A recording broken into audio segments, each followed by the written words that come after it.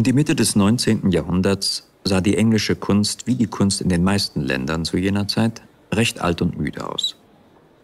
Und wie es in solchen Augenblicken häufig geschieht, tat sich eine Gruppe junger Maler, sehr junger Maler in diesem Fall, zusammen und beschloss etwas zu unternehmen.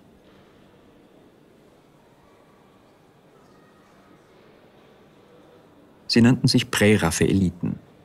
Im Zentrum standen drei Kunststudenten. Dante Gabriel Rossetti,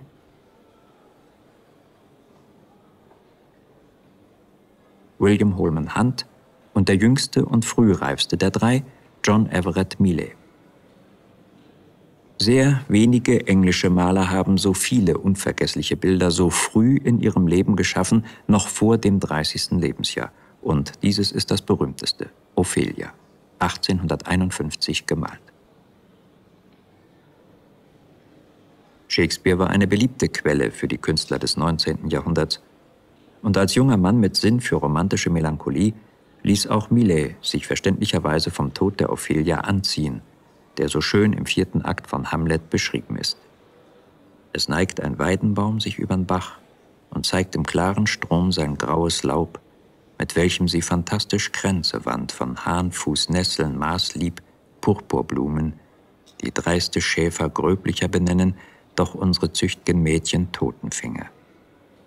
Dort als sie aufklomm, um ihr Laubgewinde an den gesenkten Ästen aufzuhängen, zerbrach ein falscher Zweig und niederfielen die rankenden Trophäen und sie selbst ins weinende Gewässer.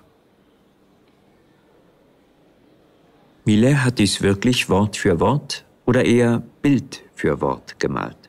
Die Weide, von Nesseln umstanden, der spiegelnde Fluss,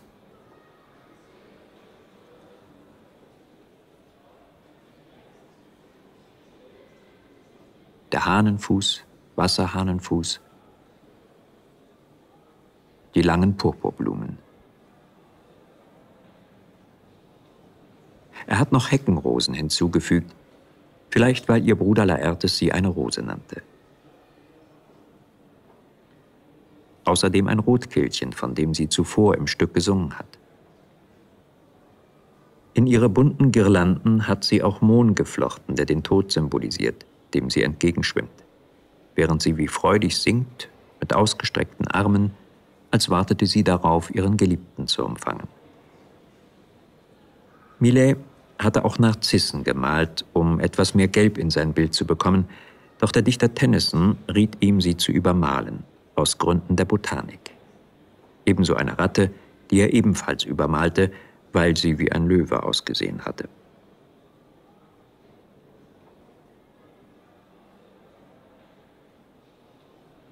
Die präraphaelitische Bruderschaft war drei Jahre zuvor, 1848, gegründet worden.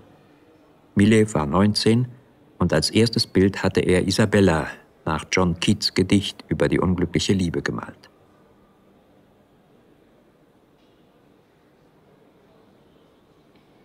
Das Ziel der Bruderschaft bestand darin, den Malern vor Raphael nachzueifern – bei denen sie Ernsthaftigkeit und Wahrhaftigkeit der Natur gegenüber zu finden meinten.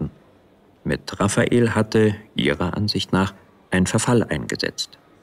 Doch Raphael war der Abgott des 19. Jahrhunderts und so hielten sie den Namen ihrer Bruderschaft geheim. Sie signierten ihre Bilder mit PRB. Das rief Neugierde und ironische Scherze hervor, wie etwa die Frage, ob die Initialen für Please Ring Bell bitte läuten standen.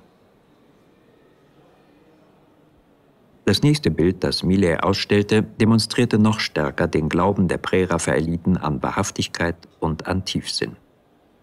Sein Christus im Haus seiner Eltern ist wirklich symbolgeladen. Der junge Christus hat sich an einem Nagel verletzt. Ein Blutstropfen ist auf seinen Fuß gefallen. Seine Mutter ist schon die trauernde Jungfrau Maria. Das Bild fiel bei der Kritik durch, doch nicht wegen dieser eher schüchternen Anspielung, sondern weil es zu lebensnah war.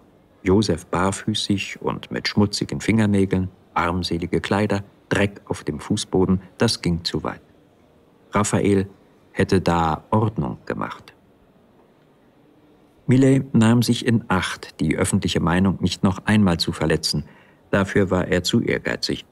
Doch seine Realitätstreue behielt er bei. Noch bevor er Ophelia malte, kehrte er zu dem Thema der tragischen Liebe zurück, und zwar nach dem Gedicht Mariana von Tennyson, das von einer einsamen Frau spricht, die lebensüberdrüssig ist und sich den Tod wünscht. Die Mariana von Millet ist weit sinnlicher als die Tennysons. Sie ist noch gesteigert durch das intensive Blau, das so lebhaft ist wie das der Glasfenster, die Mariana anschaut.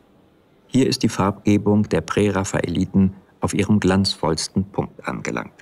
Keine traurigen Halbtöne mehr, wie sie im 19. Jahrhundert üblich waren. Diesen Leuchteffekt erreichten die Maler, indem sie reine Farben auf weißen Grund aufbrachten, während er noch nass war, und so Stück für Stück des Bildes wie ein italienisches Fresko malten. So entstanden auch die strahlenden Grüntöne und die leuchtenden Blumen bei Ophelia. Das kostete aber natürlich den Maler auch unendlich viel Zeit. Er brauchte Wochen und Wochen an einem Fluss in Surrey, während derer er täglich elf Stunden lang hintereinander malte. Er beklagte sich in seinen Briefen über die Rinder auf dem Feld und ein paar Schwäne, die die Wasserpflanzen durchschwammen, als er sie gerade malen wollte. Die Gestalt der Ophelia machte ihm weitere Probleme. Das Modell war Elizabeth Siddle, die später Rossetti heiratete. Millet malte sie nicht im Fluss, sondern in einer Badewanne in seinem Atelier während des folgenden Winters. Er bemühte sich, das Wasser von unten mit Lampen zu erwärmen, doch war es nie warm genug und die arme Miss Siddle war wochenlang krank. Überraschend ist allerdings, wie es Millet gelang, den sommerlichen Fluss und das Badewasser des Winters überzeugend in einem Bild zu vereinen. Millet widmete sich noch viele Jahre lang dem Thema der Melancholie. 1856 malte er Das blinde Mädchen. Auch hier gewinnt die Poesie der Trauer an Schärfe durch die Leuchtkraft der Farbe und durch eine minutiöse Wiedergabe der Naturdetails.